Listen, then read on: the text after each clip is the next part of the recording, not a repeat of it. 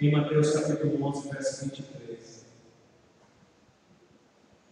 O evangelista registrou assim: 11, perdão, 20, 25, gente, é o 11, perdão. 11, 25. Dá para acender a luz aqui.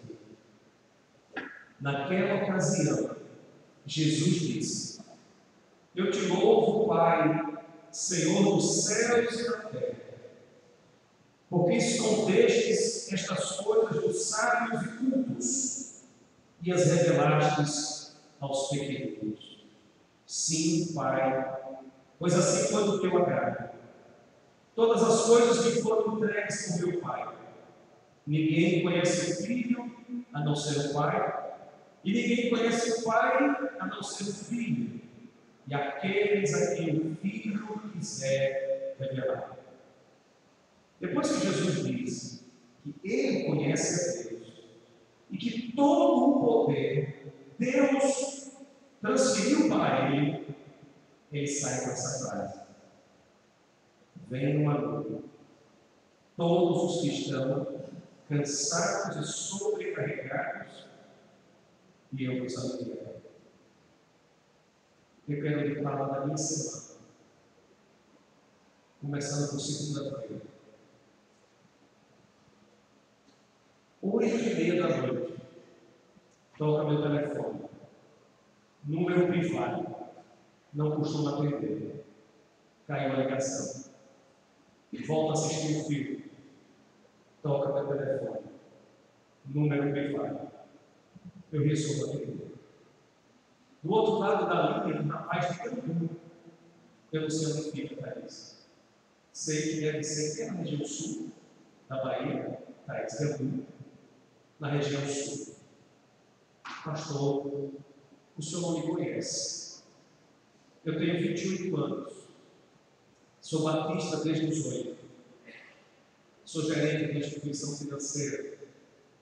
Sou líder da minha igreja. Estou na igreja desde a minha tenra idade. Canto no louvor, já fui tesoureiro da comissão de liderança. Eu sou batista. Mas, pastor, minha alma está cansada. E eu estou cansado. Eu fui para a internet atrás de achar o seu número. E é engraçado que eu fui fazer isso a partir daquelas informações do ano passado em que meu pastor insistentemente fazia questão de quando em quando trazer a a igreja que se desviou dos caminhos do Evangelho, o pastor que é herege. Mas deixa eu lhe dizer, pastor, tem três anos que eu tive um contato com afetivo. E eu não aguento mais ficar calado. Eu estou a ponto de enlouquecer. Porque eu tenho medo de perder a minha igreja, de perder os meus queridos, de perder a minha família.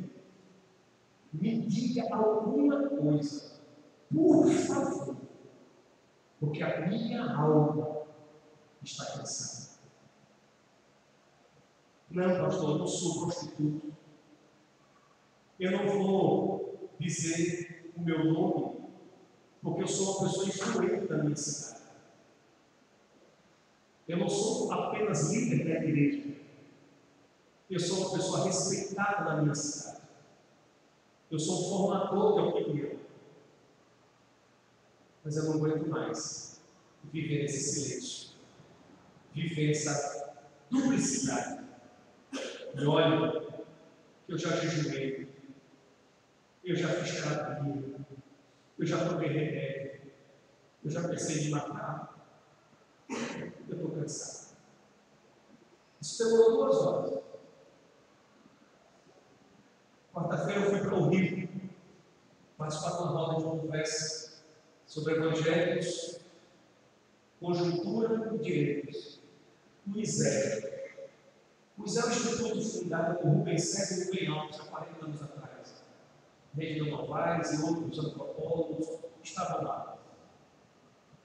Quando eu entro no avião e desembarco aqui, e ligo meu celular, os homens estão pedindo oração e compartilhando pedidos de oração para um jovem que a maioria não conhece.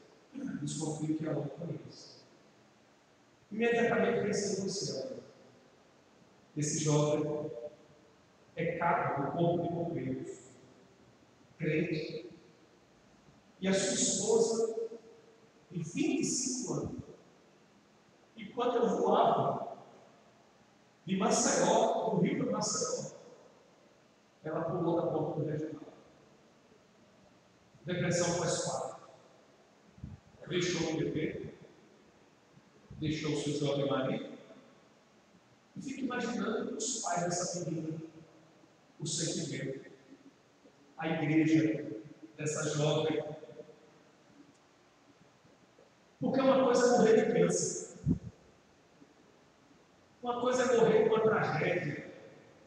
A gente fica até herói, ganha nome de sal, mas tirar a vida logo numa igreja de crentes. Se depressão não é de Deus, é do diabo, imagine se suicidar. Chego na padaria na Nova no outro dia de manhã e encontro o padeiro dizendo para duas mulheres: Vocês não cuidaram não com esse mimimi, essa frescura com o marido? A outra com o outro é por causa disso. Eu disse: Não, meu amigo, me perdoe, eu não posso ficar calado. Não diga isso. O senhor sabe que a depressão pós-parto? Essa moça estava bem no casamento. Ela não tinha mimimi. Ela estava doente. Mas no mesmo espaço do tempo, bom, bom, eu não consigo saber quem é. Desculpa. Já tem tanto tempo. Eu recebo um Valpinari me mandando uma mensagem para um jovem atleta aqui da nossa cidade. 30 anos de idade. Jogou no no Uri. Não, não, não. Não foi nem um Neymar. Mas era a alegria de uma mãe pobre do alto do céu. Mãe essa, Thaís, que eu sepultei o filho dela, outro, de câncer.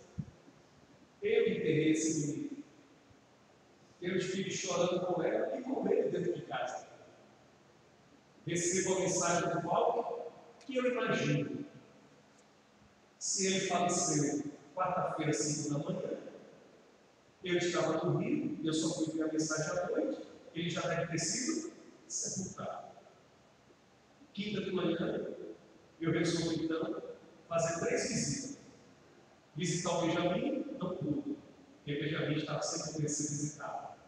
Visitar o Felipe, de Rogério Adriano, três dias internado, com insuficiência respiratória. Eu resolvi passar para o braço uma cida, crente estou, crente que o enterro já tem acontecido. E quando eu entro na rua, está os ônibus, os carros, e quando eu paro que eu desço, o carro da funerária está indo. E quando eu chego com o Zé, a Cida me olha, me reconhece e dá um grito. Um grito. Um grito de dor. Pastor, eu sou muito filho. O que foi que eu fiz a Deus? Zozão estava do meu lado. Você não sabe o que eu fiz.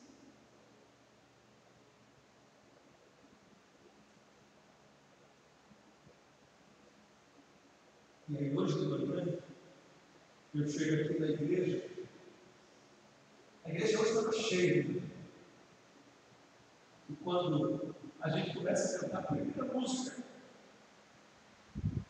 uma irmã em agir, praticamente desmaia, um grito, num grito de choro.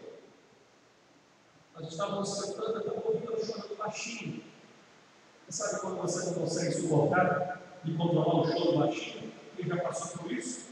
E você grita, gritou! É porque ela recebeu o diagnóstico do câncer na terceira recidiva da sua mãe. A mãe dela teve câncer 13 anos atrás, virou mama. Depois teve uma recidiva dos ossos. E teve outra recidiva. E essa semana ela foi pegada o resultado de mais um exame.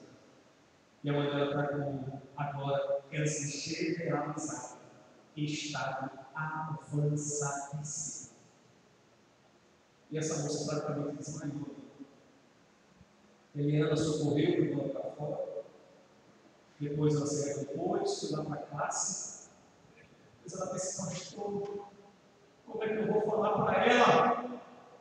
Como é que eu vou dizer para que ela vai morrer? E eu disse, não diga. Não diga. Curta. Passeie. Veja. Abrace. Mas não diga. Não diga. Essa foi a minha semana. Mas na semana passada, o André estava ansioso porque seu pai, que já é idoso, com problema no coração grave, e ele dilema: fazer a cirurgia ou não fazer a cirurgia? Eu disse para ele: se ele não quer, faça não. Mas veja, você está na mesma fila e aquele cara ali o ano passado teve o seu chão arrancado. Exatamente o que, é que você faz? O médico diz: se seu pai a cirurgia, não resiste. Do jeito que está, não dá para viver. E você vê seu pai sair dentro de casa fora, faz a cirurgia, depois do pós-cirurgia, infarta e vem a falecer com 58 anos. Rogério chegou ontem para a reunião. Nós tivemos reunião na diretoria de 9 a 1 e 20 da tarde. Quando nós dissemos, e aí, olha, vou jogar hoje, ele disse, não. Cheguei 6 horas no hospital. Rogério passou a madrugada toda, um leito, com problema renal. Irmãos e irmãs, a minha palavra hoje é para você que está cansado.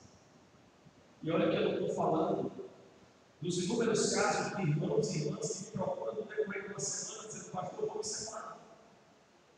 Meu casamento acabou. Ele não muda. Ela não muda. Pastor, não dá mais. Pastor, olha aí. Vamos conversar. A noite de hoje eu venho te dizer o seguinte: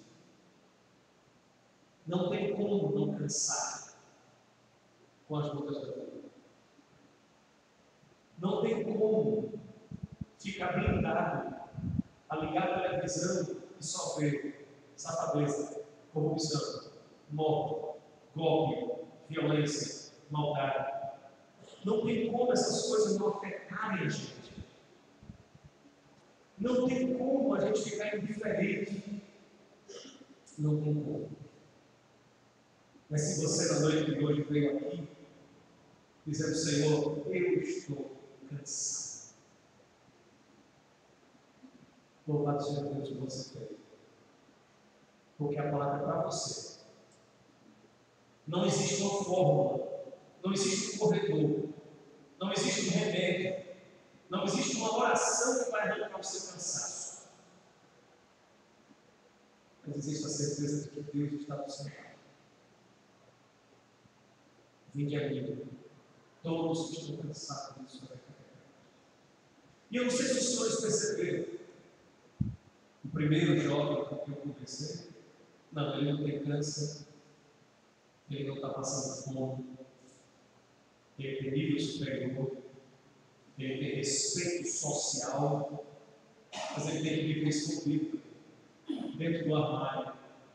Porque se ele resolver sair, a igreja exclui e ele é daquele tipo de jovens que amam a esse Deus.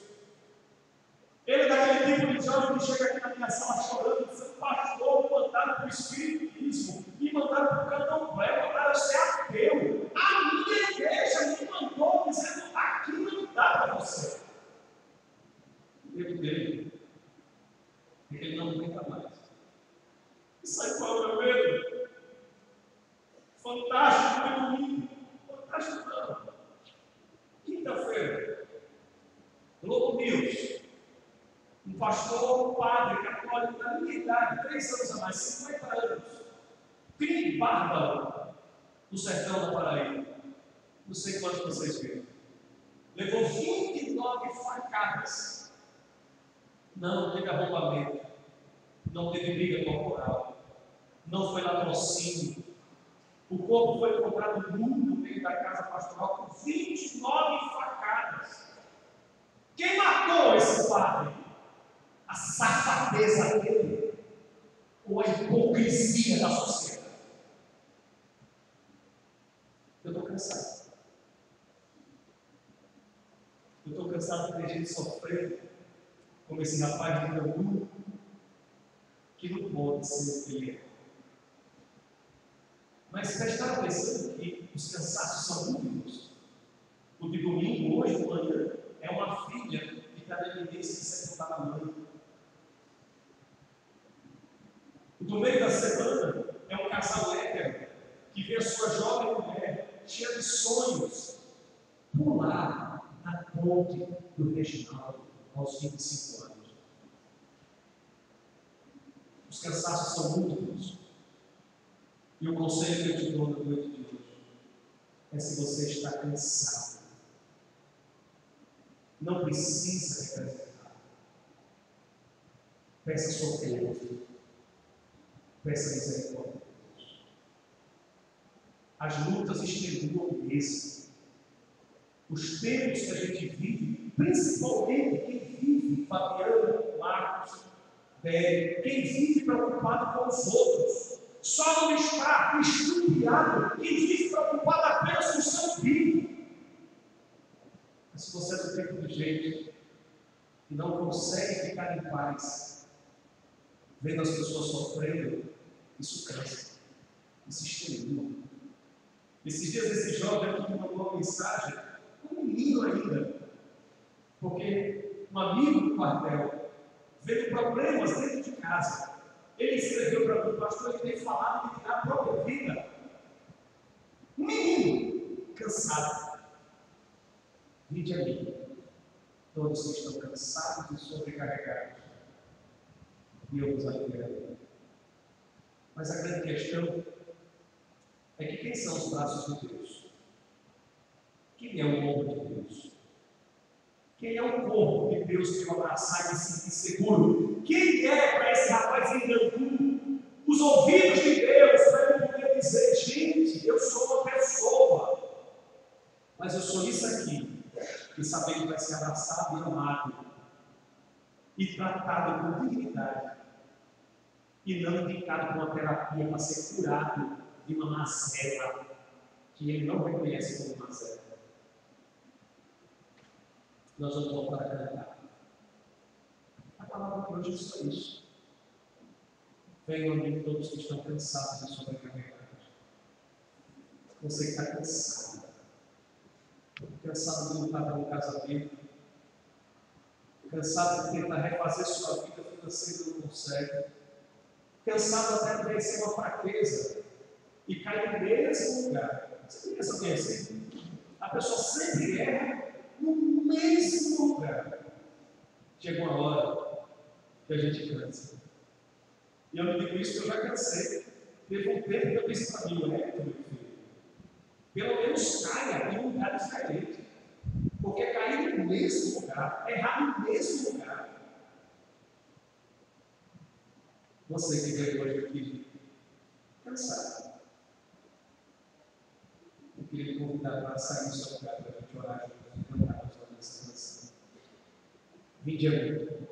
Porque normalmente essa, esse texto é usado para evangelizar. Para evangelizar. Mas essa palavra está na igreja. Porque o fato da gente ser crente não significa dizer que tem um botão que eu aperto e aí todas as minhas do Senhor, todas as minhas preocupações, todas as minhas tensões, todos os meus medos somem. Aí eu fico novinho. Isso é processual no momento da vida da gente. E só Deus sabe como é que a gente se levanta. Então, se você está assim, se sentindo assim, seja qual for a circunstância, queria convidar para vir aqui, para nós cantarmos juntos e orarmos juntos, em nome de Jesus. Talvez a mensagem tenha sido para mim mesmo. Talvez esse rapaz não tenha muito dizer para ele, o que eu disse para ele, eu queria dizer presencialmente. Você é amado de Deus. Você vai ter ação de Satanás em você endemoniado e doente. Deus te fez assim. E Deus ama assim. Mas como no verso, isso é uma gota de orvalho caído de tempestade de acusação. Óbvio, Flávio, que uma hora dessa, as tempestades de acusação pesam muito mais do que a gotinha de orvalho que diz que ele é um querido de Deus. Alguém que gostaria de vir, se para mim, a gente cantar juntos aqui.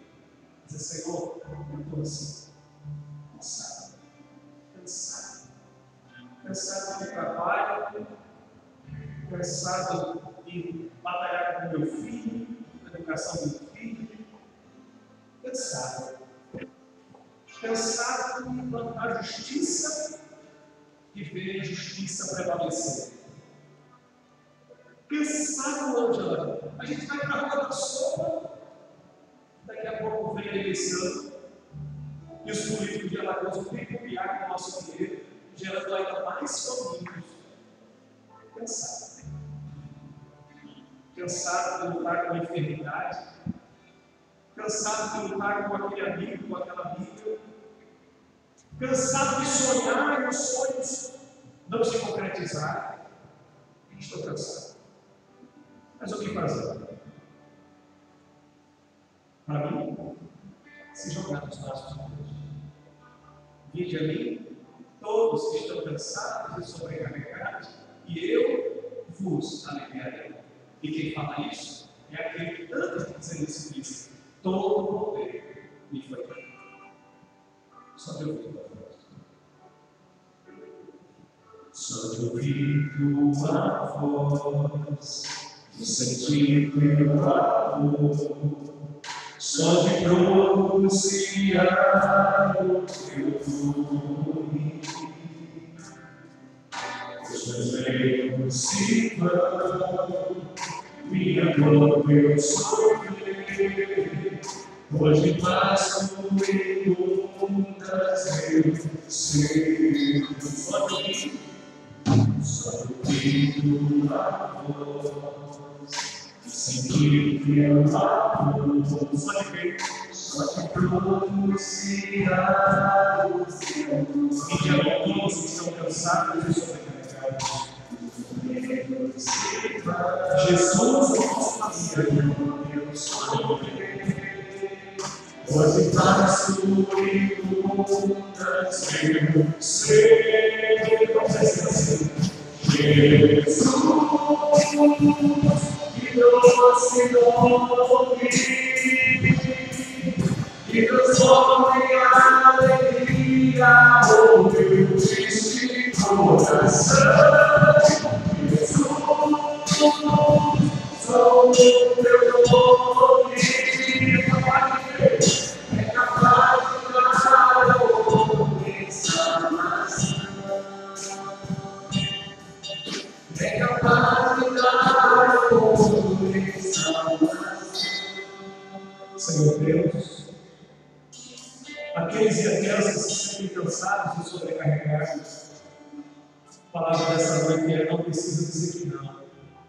Não precisa representar que é super-homem, que é super-mulher, que está tudo bem, não, não está. Aqueles e aquelas que estão cansados sobrecarregados, como a Cida, cansada de sepultar seus filhos, como essa jovem da nossa igreja, cansada, porque gostaria de ver a cura da sua mãe e não tem visto. Como esse jovem gandu, cansado de ser o que ele não é e de não poder ser o que ele é. Esse jovem marido, que não só está cansado, mas está dilacerado. Oh, meu Pai, que nós possamos nos derramar na tua presença, chorar na tua presença, que nós possamos dizer o quanto as lutas, os fardos e até nossos pecados mesmos pesam sobre nós. O salmista certa vez escreveu: Enquanto eu calei, o, teu, o meu pecado pesava sobre mim. Em nome de Jesus, Pai, traz alívio. Mas em nome de Jesus eu te peço que a igreja do guerreiro possa ser braço, ombro, corpo, mão, apoio para quem precisa na noite de hoje de um abraço de Deus. Quantas vezes o que nós estamos precisando é de um abraço, de dizer: conte comigo, estamos juntos. A sua luta não é sua, é nossa, é minha. Vem, Espírito Santo, vem nos abraçar, vem nos mover e vem renovar nossas forças. Como diz o apóstolo Paulo em Romanos capítulo 8, o Espírito de Deus nos ajuda em nossas fraquezas. Quando aquele rapaz me disse que estava fraco e cansado, eu disse: Você está no ponto ideal de ser ajudado por Deus. Quando a gente cansa, a gente entrega os pontos. Aí quem entra em jogo é o Espírito Santo. Sustenta-nos, renova-nos. Só tu sabes o cansaço de cada um e de cada um. Traz refrigério, traz renovo, traz restauração para a alma, para a alma, para a alma. De Jesus. Que a graça de Deus as consolações do Santo Espírito de Deus e o amor, o amor tremendo, poderoso, inquestionável, imutável, concreto de Jesus de Nazaré, seja derramado sobre nós e nos acompanhe nessa noite e durante toda esta semana, no nome de Jesus. Amém.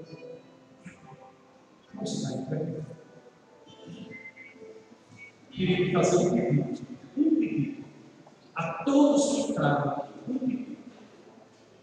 Não, não é a sopa. Até porque quem não gosta de sopa. Se você quiser tomar sopa com a gente agora, tem sopa quentinha. Se você quiser ir para a rua entregar sopa, amém. Mas o pedido não é esse. O braço, o abraço de Deus, que Deus tem ao meu eu queria que você abençoasse quem está do seu lado, dando um abraço de Deus, em nome de Jesus. Seja abraço de Deus. Que Deus nos abençoe. E que todos que entraram aqui cansados saibam que tem Deus ao seu lado, em nome de Jesus. Que o Senhor renove suas forças. Cansado da saudade, mas orgulhoso da história